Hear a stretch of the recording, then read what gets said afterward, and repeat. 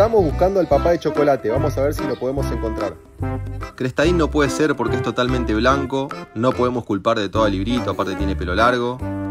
Copito me parece muy grandote y me parece que por acá tampoco.